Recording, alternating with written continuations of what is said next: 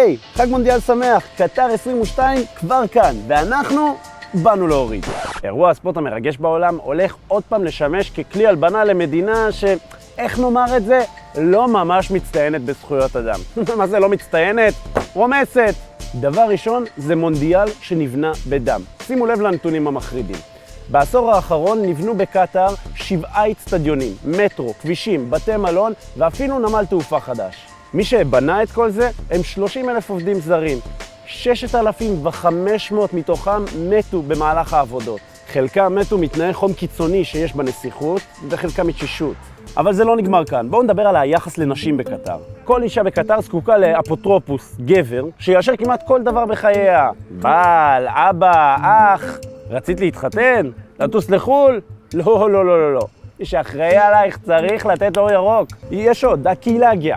זוג נשים, זוג גברים, לא יכולים להתנשק ברחוב. איזה להתנשק? הם לא יכולים להחזיק ידיים ברחוב, אלא אם כן הם רוצים להסתכן במעצר. וזה עוד בקטנה, כי קיום יחסי מין גאים יכולים לשלוח אתכם לשבע שנים בכלא הקטרי. אז נכון, קטאר התחייבה לשמור על כל המבקרים במהלך גביע העולם, ואפילו ישראלים יוכלו להיכנס באופן חריג, וגם תיפתח נציגות קונסולרית שלנו. כנראה שבמהלך המונדיאל הקטרים יהיו סבלניים יותר לדברים שהם לא רגילים לראות ביום-יום. במונדיאל 2018, רוסיה הולבנה. ארבע שנים אחרי שהיא סיפחה את חצי האי קרים בלי לראות בעיניים, היא אירחה את כל העולם ואחותו למונדיאל. ואנחנו רואים כמה דם היא שופכת עכשיו באוקראינה, כן?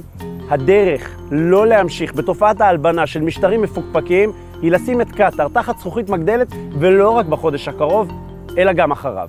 אז בזמן שאנחנו נהנים מהחגיגה על המגרש, אסור לשכוח מה שקורה מתחת לעטיפה הנוצצת. כי כל הזיקוקים והגולים המרגשים לא ישנו את העובדה שגם ביום שאחרי, לא מעט אנשים בקטאר ימשיכו לחיות בפחד.